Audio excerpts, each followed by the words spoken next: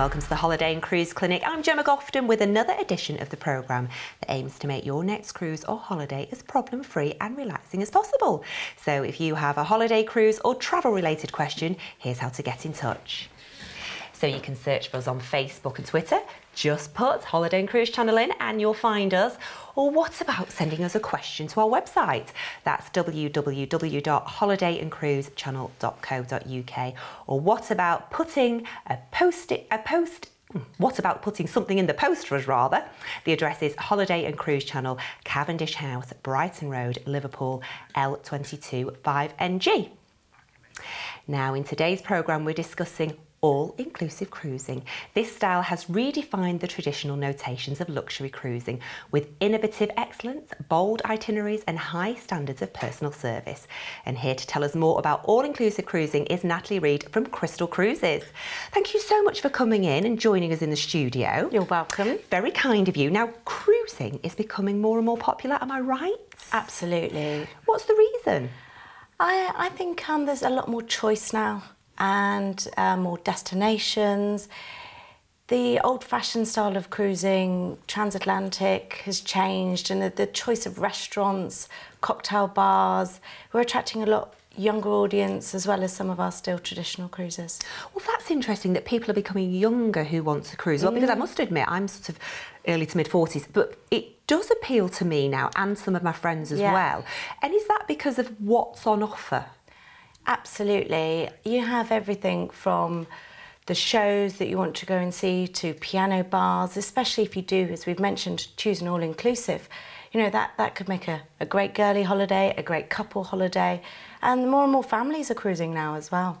And what about value for money? Because I'm not quite sure what's actually included in the price that I pay. Okay, again, if you know, this is why it's so great to choose all inclusive, and it's so important when you're looking at your cruise to actually look at what that cost is. So you could look at just the cruise cost, but actually, when you come to the end of your cruise holiday, it might originally seem like quite a good deal, but actually, by the end of your holiday, you've got a bar bill, you've got a bill for gratuities, specialty coffees, and all these things can really, really add up. So actually, to go away and know, that, um, you know, I'm sure many of us have been on an all-inclusive holiday on a land, you know, in Turkey or wherever. So actually, you're doing that same concept, but on a cruise. So you just go away and you don't have to think what hidden extras are going to be included at the end and it makes for a very relaxing holiday. So it might be that the actual the initial price that you see, you might think, oh gosh, that's a bit expensive. But if you break it down, that's when it becomes value for money. Absolutely. Okay. Um, is cruising for everybody? Because I, I don't know if would I be bored at sea? Is there going to be things to do? Will I get seasick? There's no such thing as a wrong cruise for somebody. It's just they've gone on the wrong cruise. So there really is something from everybody. I mean, you have small expedition style, yacht style cruising, right through to obviously great big ships with lots and lots to do, to you know the ships that we represent that are more kind of around a thousand uh, clients, uh, lots of choice, really elegant cruising. If you like good food, good wine, and of course the destinations that you visit as well. Well, I'm guessing that's why people choose a cruise is the des- it's destination led. It is, yeah, yeah, predominantly. Um, what about all inclusive cruising? Are things like I don't know tips included because that's when I really start to panic because I don't know who to tip We're and English. what to tip them. You can't tip. Uh, no. Well, I just we just don't seem to get no. it right, do we? No. Because you think, well, do I tip this person every time I see them? Yeah. Or do I not tip them at all? I end up sort of panicking and not tipping them enough. Yeah, no. I mean, again, this is one of the things to be conscious about when you're looking at booking your holiday. So if you go um, with us on a six-star all-inclusive luxury cruise, then your gratuities are included. So, oh, so you don't, don't, need to stress. You don't need to stress. I guess as well, just ask. Somebody will tell you, won't they, ahead of yeah. time, so you'll know where you're at. Yeah. Now, I have to say, all inclusive and kids for me is a godsend because those cans of pop, those lollipops, those ice creams, those bits all add up. So, does it work well, all inclusive cruising with kids? It does, yes. Um, for the right families, we, because we are an ultra luxury cruise ship, we must admit we don't have climbing frames or wave machines, um, but we do have a fantastic kids club. We tend to find um, we have a very, very high repeat business, it's nearly 80%. And actually, um, how we started introducing families to cruising with ourselves was um, some of our repeat clients would actually want to bring their families on board because it was their special, it was a 60th birthday celebration or a special anniversary. So they wanted the entire family to come and celebrate wouldn't happen in my family, unfortunately, because my mum was one of 10.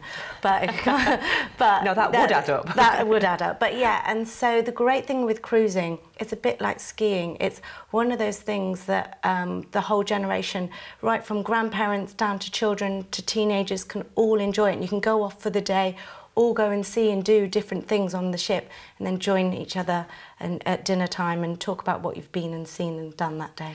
And I guess you can't really do that on a holiday because when you're on an, a holiday, a land-based holiday, you are trying to please everybody, saying, "Oh, yeah. are we all okay to go to the beach? Do we all want to go to the water park? Do Absolutely. we all want to do this?" Whereas if you're on a cruise, you can go off and do that. You go off and do that, and like you say, a cocktail and a, a glass of pop at the end, you can all chat about yeah. it. Um, what about the benefits of sailing from the UK? The benefits of sailing from the UK, the obvious, you don't need to fly. Um, and uh, yeah, it's, it's very much, it's, I guess it's just that hassle of, of not having to go through airports.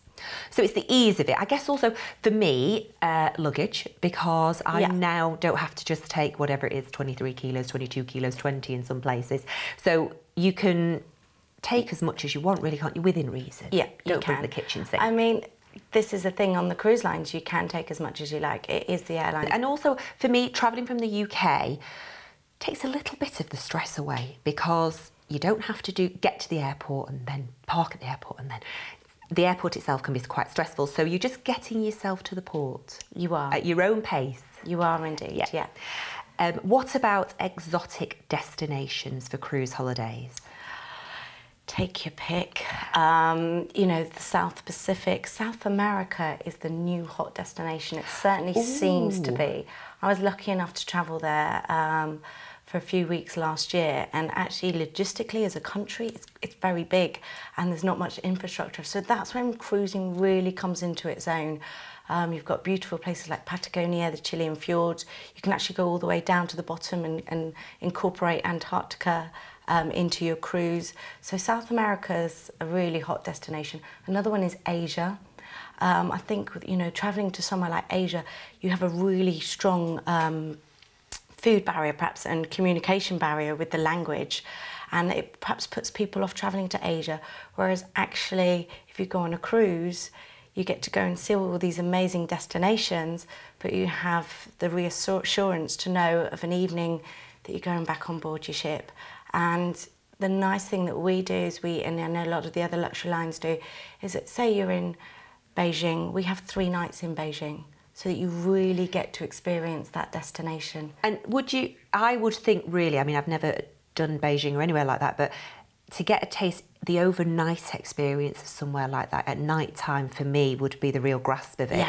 Yeah, it is. It's, it's something, feedback that's come from our clients more, uh, if you look at our overnights compared to say sort of five years ago, it's it's quadrupled easily. It's it's very very popular now. Even in our European destinations, we do a lot of overnights.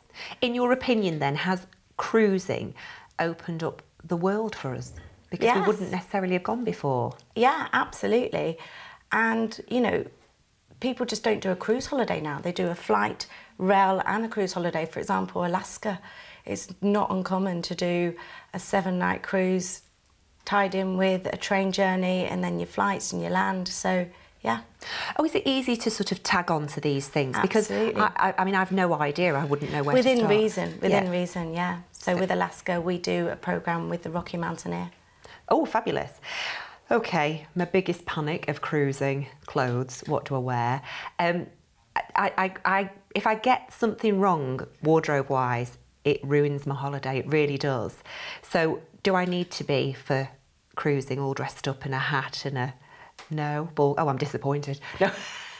Um, well, first of all, we're a six star cruise company, so we're not going to tell our clients how to dress. It's casual elegance.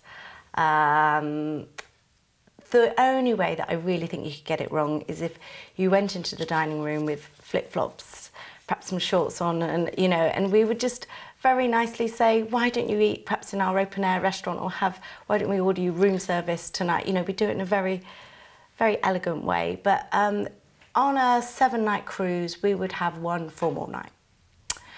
Now, cruising's changing you know, we are, we talked about a younger audience compared to, you know, the older audience. So it's about keeping everybody happy. You know, our more traditional cruisers really do like to dress up. They like to wear the di dinner jacket with the dicky bow, but perhaps a younger cruise customer wouldn't want to do that. So we've actually made um, our formal nights black tie optional, which basically means us ladies can get our dresses out, but if your husband or partner doesn't want to wear a formal dinner jacket, as long as they're wearing a suit on the formal night, then that's absolutely fine. Um, the other nights, as I mentioned, it's casual ele elegance. And actually, even on our formal night, I mean, the great thing about traveling with us, we have six different choices of restaurants. So if you didn't want to eat in the main restaurant on the formal night, you could eat in our open air restaurant or in one of our, our specialty restaurants. But I love the formal night. That I would really be the one for me. enjoy it. I mean, when do we get the opportunity to wear dresses anymore and, and really dress up? And you walk in and the ambience in the main dining room is fantastic. Thank you. Well, we're having a quick break, but Okay. uh, don't go anywhere because we've got plenty more questions. If you're new to cruising, then this is our first time guide to cruise holidays, and it's well worth asking for because it's absolutely free of charge. Just give us a call 03330 032 216. Now, calls will be charged at standard network rates. You can also ask for a copy through our website www.holidayandcruisechannel.co.uk. And whilst you're asking for this, we'll take a quick break. See you shortly.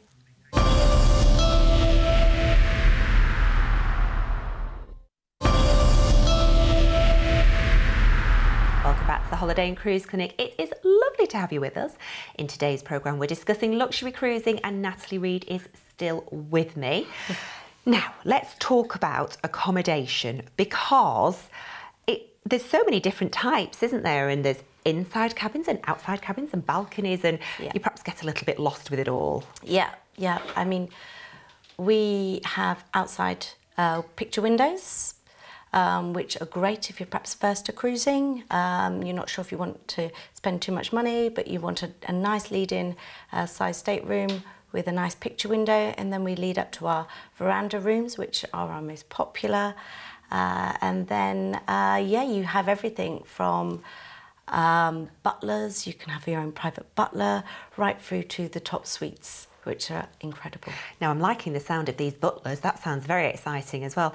Um, what about activities uh, for people to do on board? Because my worry would be we're at sea for a day or two, and I go, oh, I'm a bit bored. What can I do? Um, what, what's on offer in the, on, on cruises? It's a bit of an in-house joke that there's actually, you know, we give you a little diary calendar every day, and there's actually more to do at the days of sea than there are at port. The great thing is, it's all about choice. So if you want to just sit back with a cocktail, chill out, read your book, you can do that. But you've got everything from learning, um, practicing your golf swing with a PGA golf instructor, to playing tennis on a paddle tennis court. You have fantastic gym and spa facilities, and then right through through the um, learning centres from Berlitz language courses. So we were talking about South America earlier. If you want to pick up a bit of your Spanish, brush up on Spanish. Um, one that I definitely need to go on: how to use your iPad. Uh, and then learning how to use a camera, photography. So, and then also quite important as well, um, every destination we're going to, we have a guest lecturer come on from that destination to talk about where you're next visiting and everything. Um, and food, my uh, second favourite subject after cocktails. Um, it is part of the cruising experience, isn't it? It For is, anybody who's yeah. ever cruised, food is the thing, isn't it? Absolutely. Um, so, what can people expect? What sort of quality of food can people expect on cruises? Very, very high standard. In some cases, I think it opens up doors to you know an experience where you just perhaps wouldn't have, had that opportunity.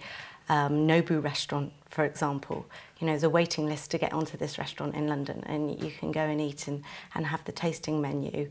Um, it's incredible. Uh, also, uh, you have uh, Prego, an Italian restaurant that, that's very, very good.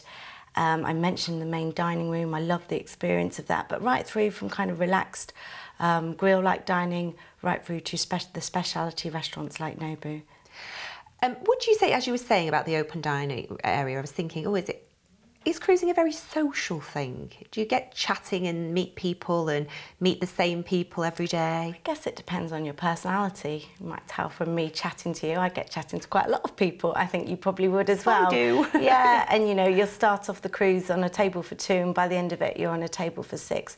But actually, you know, if you want to go away and be romantic or just, you know, you're not not a very sociable person, then that's fine too again, you know, like I said, it's all about that choice. That's really what makes it different. Just jumping back to food as well, I, I must ask this question because um, if maybe you, you, you know, I don't know, you, you're dairy intolerant or you celiac, to be trapped almost um, at sea and not have the right food must be a bit of a panic. No, it's the best place. Um, I actually, one of my crazy uh, fad diets, I was on dairy-free, wheat-free, and sugar free. and um, I was trekking. I know. Fun free. I'm fun free. And I was trekking the Himalayas, and so I went on Crystal the week before, and so I actually tested it out because I wanted to see exactly how they would uh, be able to cope with a customer with very high demands. And fantastic to the point where I was actually like, I'm not hungry, but they've just made this specially for me and I'm going to have to eat it. And yeah, the, I mean, they really, nothing's too much trouble. It's incredible.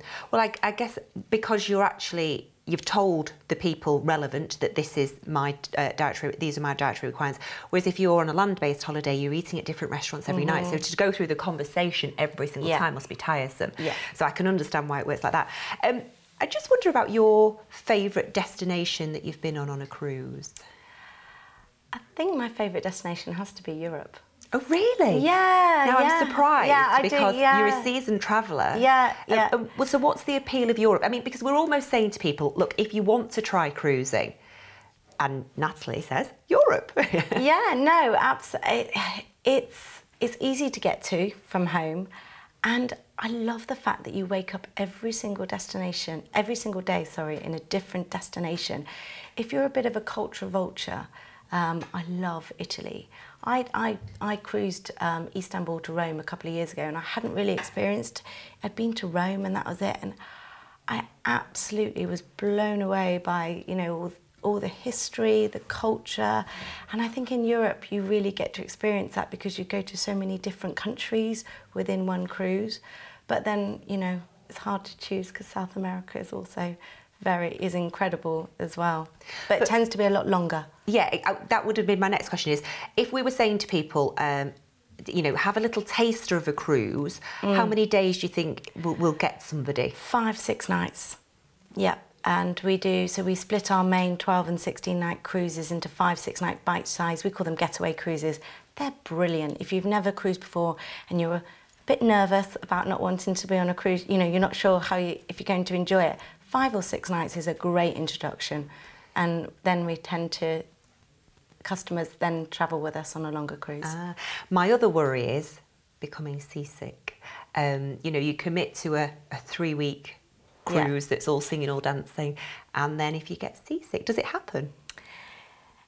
It's not happened when I've been on a cruise. Um, we're quite big ships. I mean, we're 68,000 tonnes and 50, 51,000 tonnes, so that, that's, that's pretty big. So it would have to be very, very choppy waters. I guess, again, if it was me and I was, I was nervous about seasickness, I mean, it's very different being out on a dinghy, say, in the Isle of Man, to going to going on a big around the Med. yeah, yeah, very, very different. And again, that's another thing is choosing it. You know, the Med waters very calm. You perhaps wouldn't want to choose the Drake Passage down in Antarctica for your first cruise. Oh, maybe okay. maybe get your sea legs. Um, now, what about being pampered? Um, it goes hand in hand for me uh, with a holiday, and I know that on cruises now, you can get your hair done, you can be pampered. You can also obviously visit the gym because you've got to, because you've eaten your body weight. yeah, yeah, I mean, the, um, the spa facilities on board are fantastic. Um, everything from being wrapped in seaweed right through to, like you said, getting your nails, getting your hair done for the formal night. I it's all part of going on holiday, isn't it? Part of, for it certainly is for me, going away, being able to relax in the spa, sit in the jacuzzi with a glass of bubbles and, and have a couple of treatments. Do you think that people who cruise, as a rule, are organised? Because when I chat to people about cruising, it's being pampered, which you've got to book. You've got to be you've got to be good about this. Excursions, do we need to book those? And also, um, people who cruise a lot, they know what ships they want to be on and they know what cabins they want, don't they?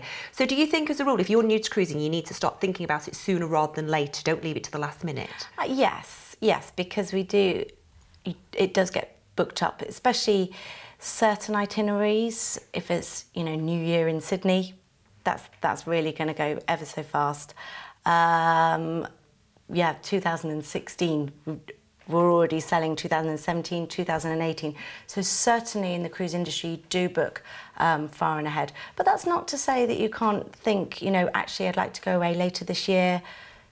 Always check availability, and yeah. There might be something there. There might be. Uh, what about your favourite excursion that you've ever done? The thing that took your breath away? I think it would have to be, it was a toss up between two. I'm not very good you at choosing. Two. A, oh, okay. You can have two, I'll let you. Okay, thank you. I'm generous. Um, Ephesus in um, Kusadasi, um, we went in the day and it was very busy and you're trying to read everything and there's lots of tourists. And it's hot. And it's hot. Yeah.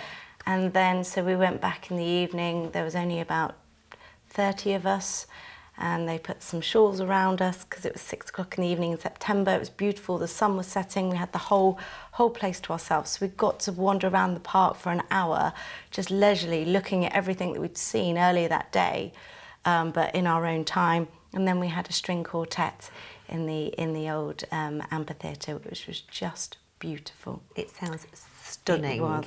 What would be your? You said you had two. You yeah, let you. private tour of the Sistine Chapel. So there was about five of us. That when I say private tour, but anyone that's ever been to the Sistine Chapel, queued up, looked up for three seconds, come back down again, and, and realise you're being ushered out. Um, it's weight its worth in gold. Oh, yeah. thank you. Well, thank you for opening up the world of cruising to us and making it sound welcome. so exciting. Hopefully, we've we've whet some appetites there. Now, just a quick reminder about this before we head off. It's our first time guide to cruise holidays and it's absolutely free of charge. Just give us a call 03330 032 216. Calls will be charged at standard network rates and don't forget you can also ask for a copy through our website www.holidayandcruisechannel.co.uk where you can also get in touch with your questions for future programmes. Okay, that's all we've got time for on today's edition of the Holiday and Cruise Clinic. My huge thanks to Natalie Read and thanks to you for watching. See you next time.